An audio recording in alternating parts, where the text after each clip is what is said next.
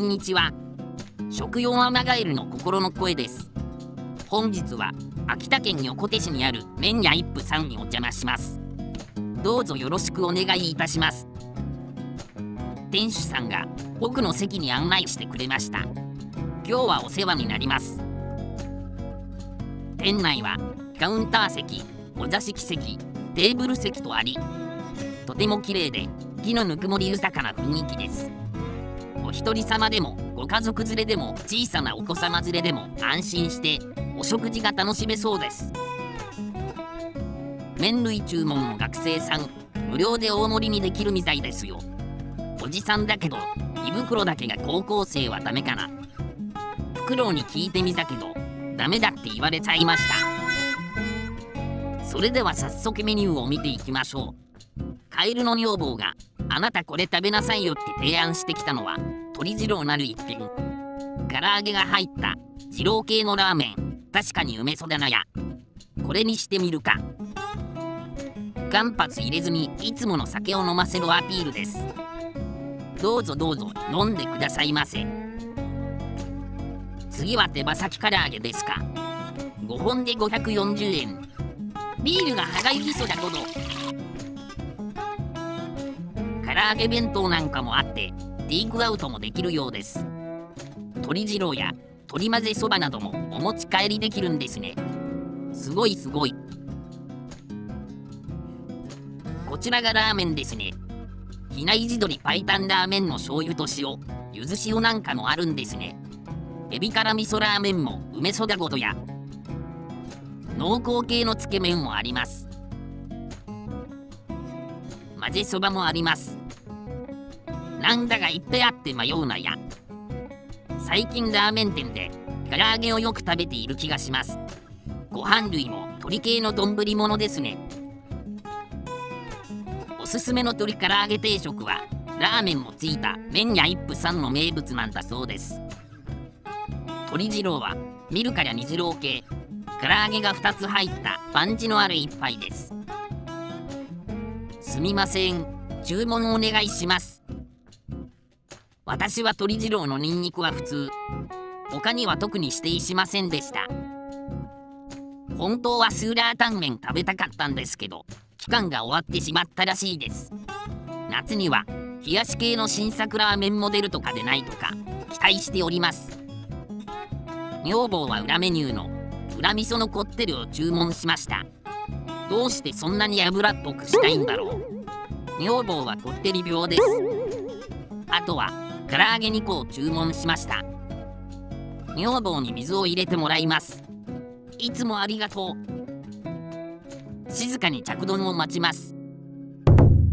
はいどうも。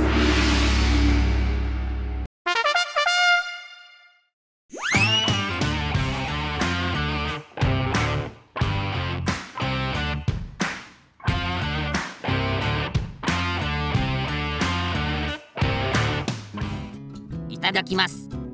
まずはスープからいきましょう。この背脂を見てください。梅そだべ鶏ガラだしの濃厚スープにもやしがたっぷりと入っている。なんとも食欲をそそるビジュアルじゃないですか。これはうまいに決まっているな。これが名物の唐揚げですね。そこそこ大きめのが2つ入ってました。麺は極太のストレート麺ですね。なんかツルツルしてそうな感じのあまり見かけない麺ですね。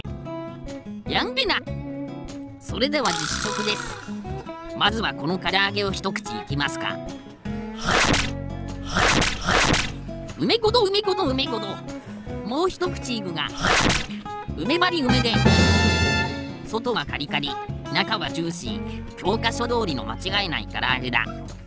スープ飲んでみるが。まろやかな塩加減がたまんねえなニンニクの味も効いていて食欲をそそる味だ麺がかなり短めですねこれは独特です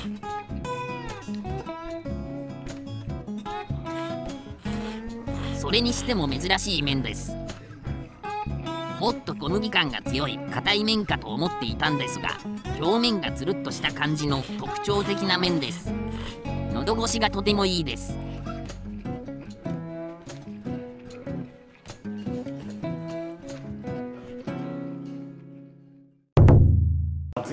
はい、すいません。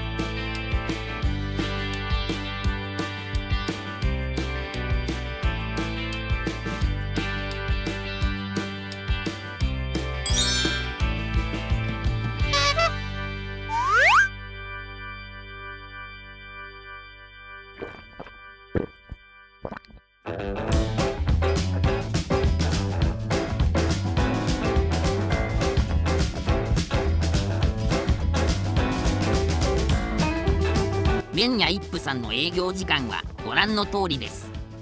月曜日の営業時間が昼飲みとなっているようです。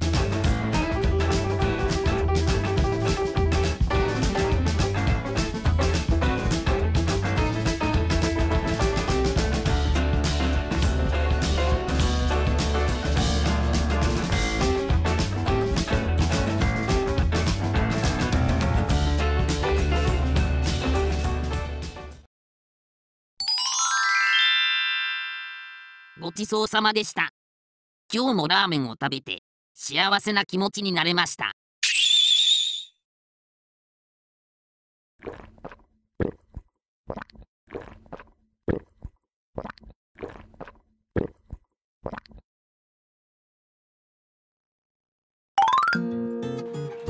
今日はお世話になりました。とっても美味しかったです。こちら名刺になります。ありがとうございます。ステッカーもあります。よかったらどこかに貼っていただけると嬉しいです。はいどうぞ麺屋一夫さんのオーナーさんも食用アマガエルチャンネルを見てくれているということでした。これは嬉しい。今後ともよろしくお願いしますね。